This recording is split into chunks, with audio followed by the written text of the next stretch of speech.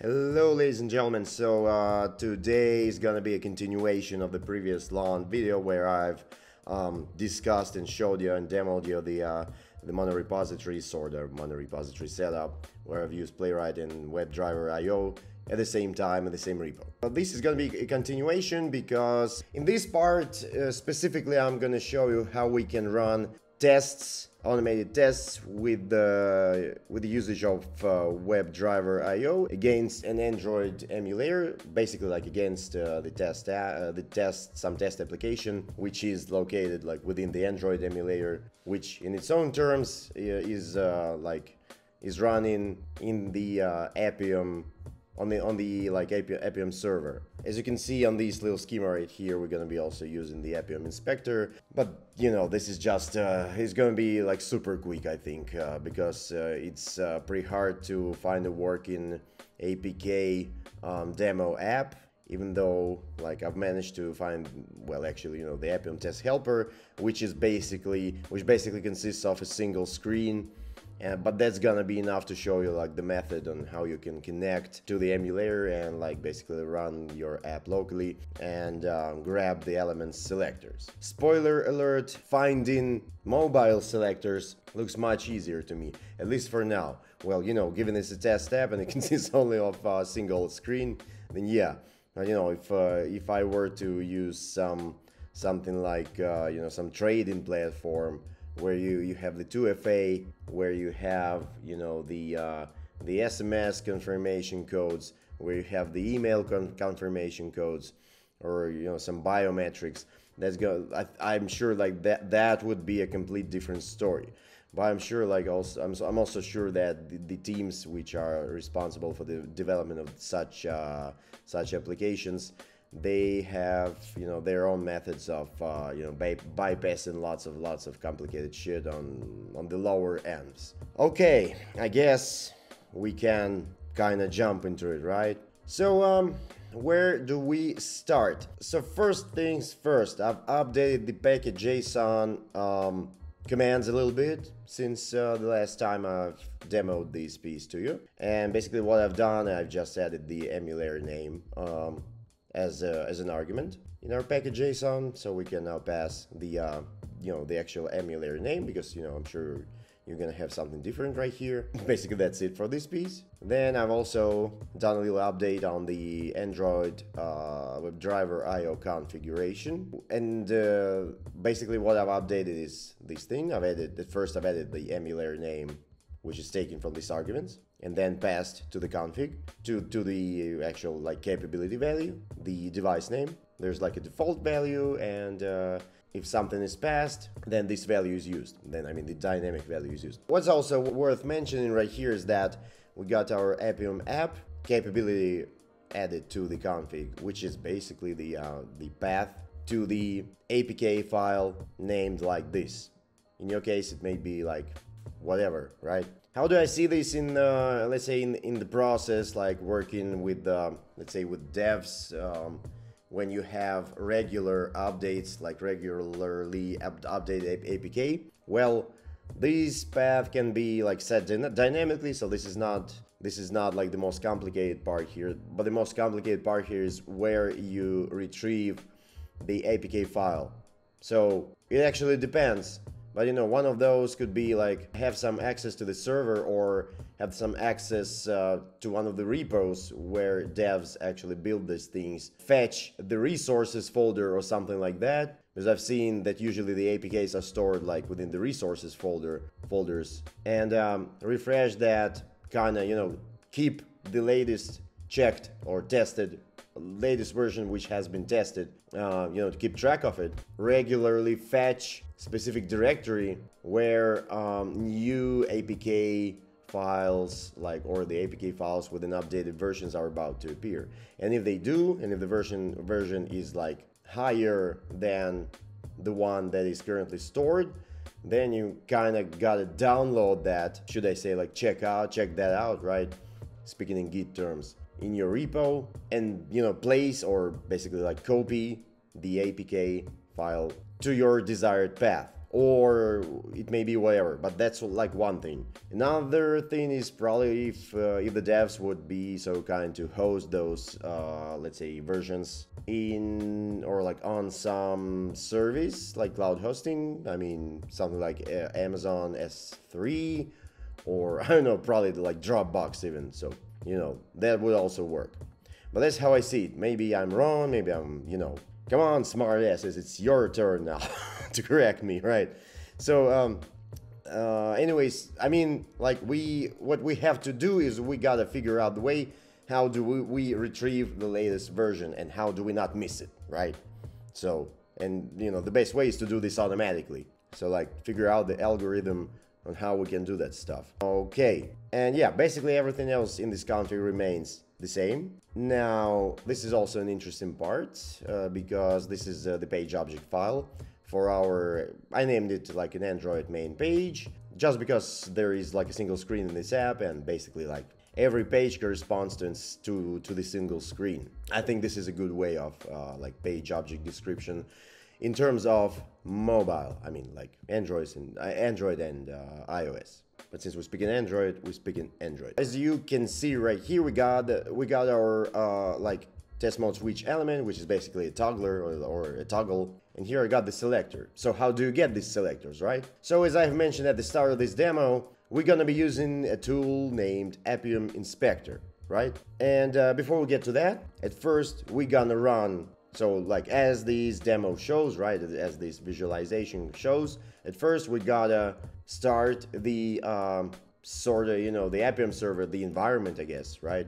which is where we gonna start the emulator and uh, we we are gonna connect to that emulator via our uh, Appium inspector. So let's start Appium at first. So we got uh, the Appium start npm command for that. If you're interested in more like details on how this runs, you may either check this appium.ts or you may check my long, long video on the whole setup of this monorepo-like structure. But okay, let's start Appium. Uh, it is running, as you can see right here, it started.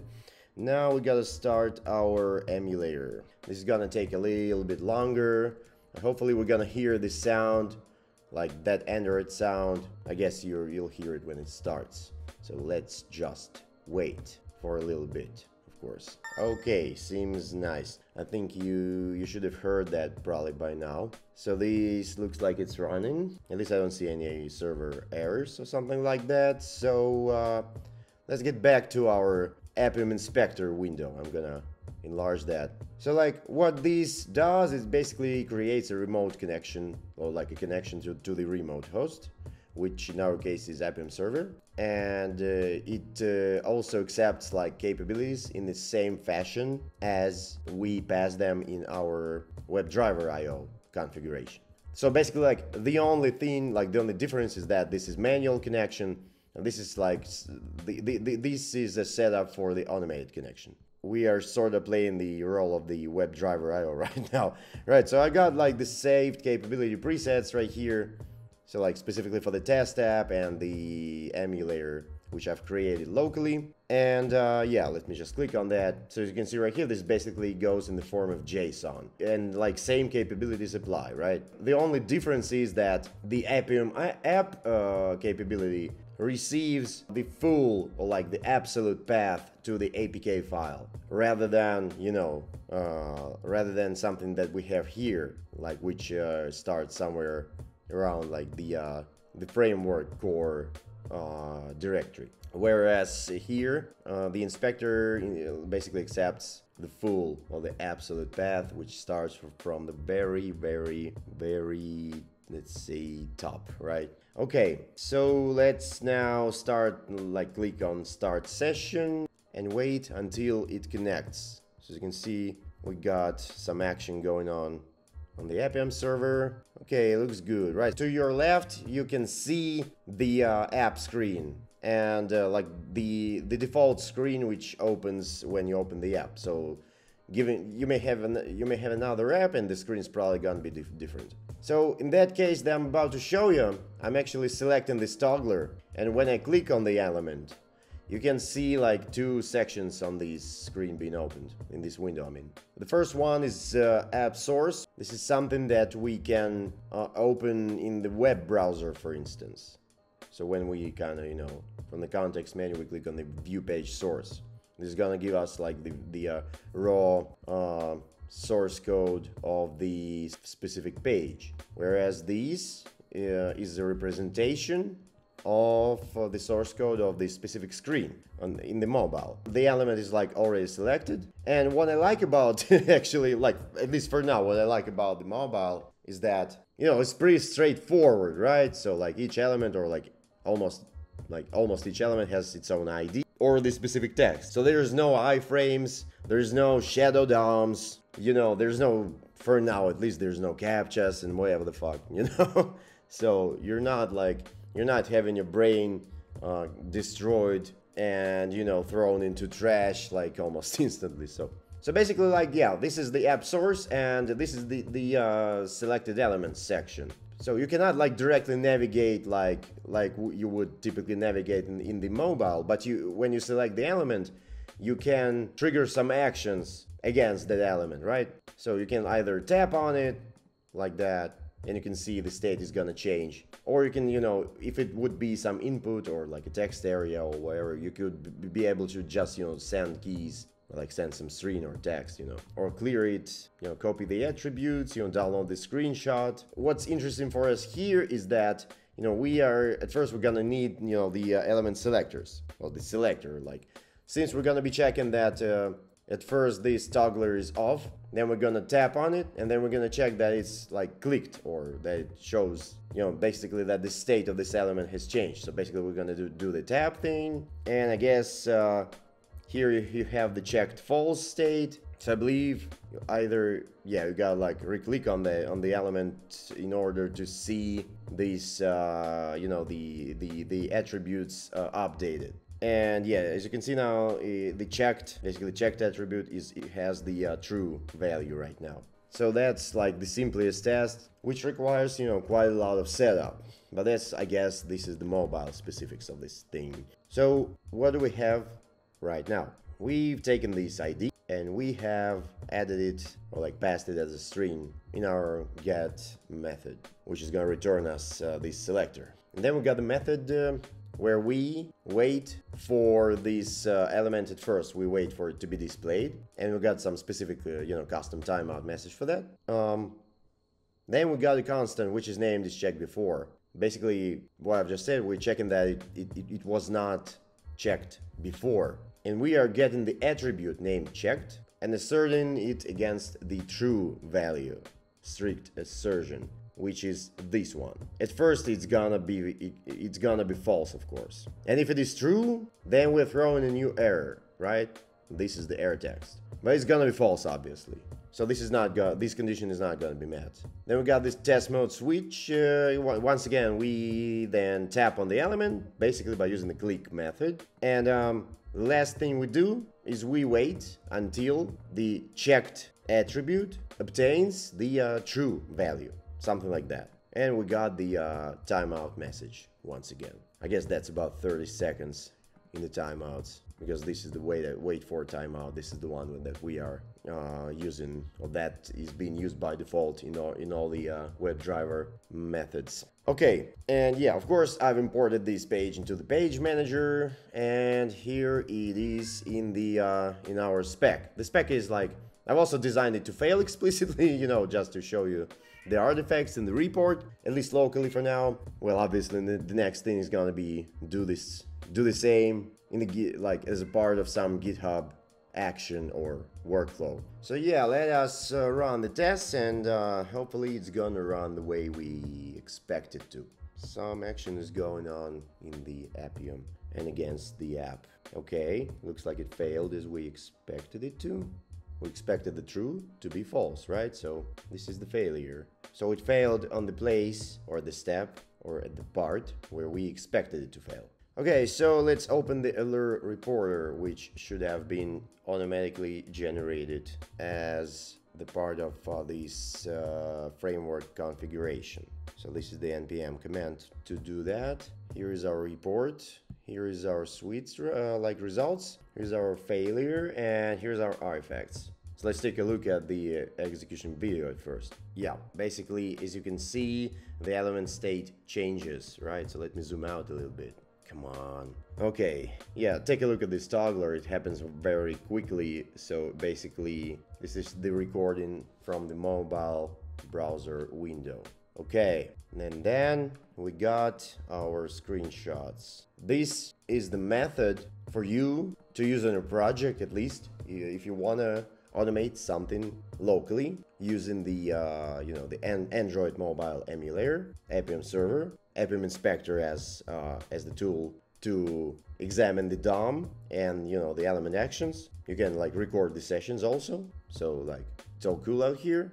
So I'm gonna quit this session. And also how you can run these tests like locally. So um, the next part is probably gonna be I'll I'm, I'm gonna like probably like you know busting my ass to figure out how, how to run this stuff via GitHub Actions because you gotta somehow, you know, you you, sound, you gotta some to generate, you gotta generate that, you know, you, you gotta create that Android emulator somehow in the CI and install like all the comp components like uh, like you do locally, which uh, may probably it's gonna require some additional steps as it always does because I'm using the Mac and you know the test runner, but like Mm, it uses the Ubuntu Linux, I guess. Yeah, there's a different OS. But hopefully we can reach that goal, right? So once again, thank you for your attention. Feel free to use that uh, on your projects if you figure out how to run this stuff in CI, not GitHub, but you know, just any other, like any CI at all. I would be